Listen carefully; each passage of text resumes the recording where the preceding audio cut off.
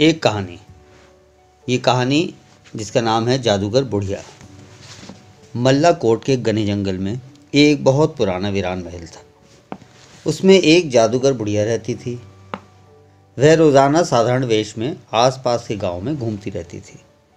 उसे जहाँ भी कोई वस्तु अच्छी लगती, वह तुरंत अपने दाएँ हाथ की उंगली से अपने दांत को छूती और जादू मंत्र से उस वस्तु को अपनी पोटली में डाल देती। इसी तरह गाँव भर की अच्छी अच्छी कीमती वस्तुओं के अलावा घोड़े, बकरी, गाय आदि जानवर भी जादूगरनी के महल पहुँचने लगे। लोग समझ नहीं पा रहे थे कि ये चीज़ें गुम कैसे हो रही हैं। आखिर कौन है चोर? पूरे इलाके के लोग परेशान हो गए। उन्होंने राजा से चोर को पकड़ने की फरियाद की। राजा ने दो सिपाहियों को गाँव भेजा। पर बुढ़िया ने अपने जादू से सिपाहियों को भी अपने वश में कर लिया। रास्ते में उसने राजकुमारी को खेलते देखा। उसकी नज़र राजकुमारी के हार पर पड़ी। बस क्या था? जादूगरनी ने अपनी मुस्कान के साथ ही उसे वश में कर लिया और हार लेकर जंगल को चल दी। दूसरे दिन पूरे इलाके में एक खबर फैल गई। लोग कहने लगे, जब राजमहल की राजकुमारी ही सुरक्षित नहीं है तो गाँव वालों का क्या होगा? राजा चिंता में डूब गया। उसने राज्य में ऐलान करवा दिया कि जो भी चोर को पकड़वाएगा, उसे राजा की ओर से बहुत बड़ा इनाम दिया जाएगा। उस इलाके के एक गाँव में इंदर नाम का युवक रहता था। इंदर के माता पिता मेहनत मजदूरी करने वाले लोग थे। खेती बाड़ी का कामकाज इन दिनों बंद था। सो घर में खाने के लिए अनाज भी नहीं था। वह जंगली फलों को तोड़ने जंगल की ओर निकल गया। जंगल में उसे जामुन का पेड़ दिखाई दिया, जिस पर खूब जामुन पके थे। पेड़ पर चढ़कर उसने खूब जामुन खाए, फिर माता पिता के लिए जामुन तोड़ने लगा। थोड़ी देर में उसने देखा कि एक सफ़ेद चमकीले बाल वाली बुढ़िया लाठी टेक कर चली आ रही है। पेड़ के नीचे आकर बुढ़िया बोली नाती मीठे मीठे जामुन अकेले ही खा रहा है। अपने बूढ़े माता पिता के लिए भी नहीं लेते जाना। हाँ लेकिन ज़रा संभल कर तोड़ना। जामुन की टहनी कच्ची होती है, पेड़ से नीचे मत गिर पड़ना। तुम सूखी टहनी पर पाँव रखो और हरी टहनी हाथ से पकड़ लो, फिर आराम से फल तोड़ना। बुढ़िया की जादू भरी आवाज़ सुनकर बालक ने सूखी टहनी पर पाँव रखे और हरी टहनी पकड़ी। पकड़ते ही उसके भार से टहनी टूटी और इंदर धड़ाम से ज़मीन पर गिरकर बेहोश हो गया।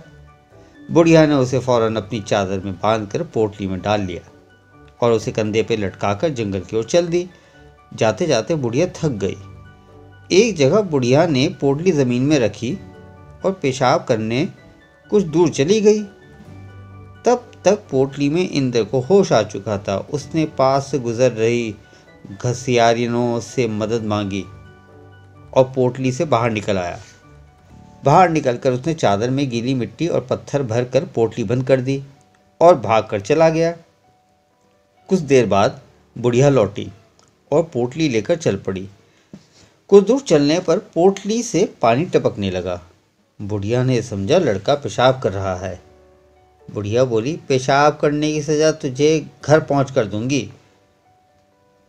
घर पहुंचकर बुढ़िया ने अपनी लड़की से कहा, देखो, मैं तुम्हारे लिए गुलाम लाई हूँ। इसमें मुझे रास्ते में बहुत परेशान किया। पहले ज़रा इसकी मरम्मत कर दूँ। जैसे ही बुढ़िया ने पोटी खोली, चादर में मिट्टी और पत्थर निकले, उसे लड़के पर बहुत गुस्सा आया। वह फिर से वेश बदल कर लड़के की तलाश में निकल पड़ी। उसे पक्का भरोसा था कि वह लड़का ज़रूर जंगली फल खाने आएगा। अब की बार वह मेरे हाथ से निकल नहीं पाएगा। लड़के की खोज में कई दिन बीत गए। एक दिन वह जंगल से गुजर रही थी। उसने देखा वही लड़का एक जगह पेड़ पर बैठा काफल खा रहा है। बुढ़िया ने फिर कहा, मेरे बच्चे काफल की टहनी बहुत कच्ची होती है। अच्छी तरह काफल तोड़ना, गिर मत पड़ना। तुम सूखी टहनी पर पाँव जमा लो और हरी टहनी पकड़ कर हिलाओ, ताकि पके काफल के दाने गिर जाएँ। तुम्हारी बदौलत मैं भी काफल खा लूँगी। मैं ज़मीन में अपनी चादर बिछा लेती हूँ। बालक इंद्र बुढ़िया को पहचान गया। उसने जवाब दिया, मैं तुझे पहचान गया हूँ। तू वही जालिम बुढ़िया है। अब मैं तेरे बहकावे में आने वाला नहीं। बुढ़िया ने अनजान बनते हुए कहा, अरे, वह तो न जाने कौन जालिम थी। देखो, मेरे दांत सोने की तरह सुनहरे हैं।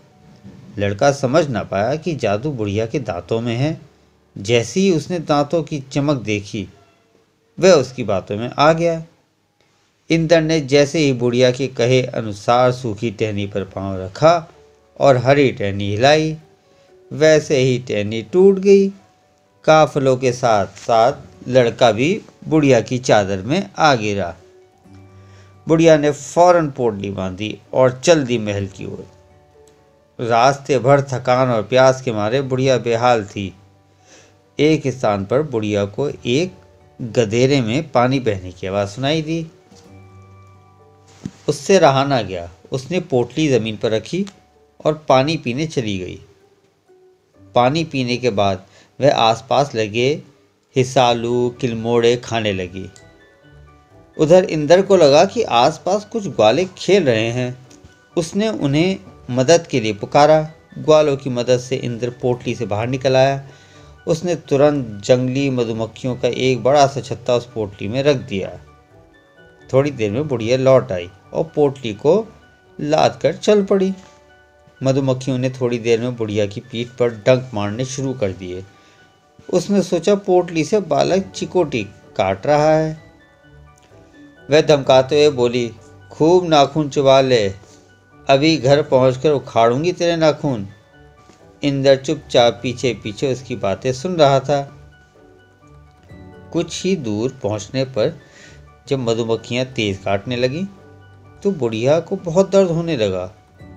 उसे बहुत गुस्सा आ रहा था। घर पहुँचते ही उसने पोटली ज़मीन पे गिरा दी। लड़के को पीटने के लिए एक डंडा ले आई। बुढ़िया ने जैसे ही पोटली का मुँह खोलकर अंदर झांका, पोटली की मधुमक्खियाँ बुढ़िया के मुँह पर चिपट गईं। मधुमक्खियों के काटने से बुढ़िया का मुँह गुब्बारे सा फूल गया। वह बेहोश हो गई। इंद्र ने देखा, बुढ़िया की लड़की राजकुमार, राजकुमारी का हार पहने हुए है। वह दौड़ा दौड़ा राजा के पास पहुँचा। उसने हार का सुराग मिलने की बात बताई। राजा ने उसके साथ दो सिपाहियों को भेजा। तब तक बुढ़िया वहीं गिरी पड़ी थी। सिपाही बुढ़िया और उसकी लड़की को राजा के पास ले गए। राजा के आदेश से बुढ़िया ने चोरी किया हुआ सारा सामान गाँव वालों को लौटा दिया। इंदर को राजा की घोषणा के अनुसार ढेर सारा धन इनाम में मिला। उसकी चतुराई से खुश होकर राजा ने उसे अपने दरबारियों में भी शामिल कर लिया। अविंदर अपने परिवार के साथ मज़े से रहने लगा।